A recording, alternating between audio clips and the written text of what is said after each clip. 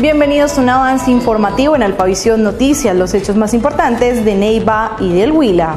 La ciudad cuenta con una nueva estación de bomberos voluntarios para el servicio de todos los neivanos.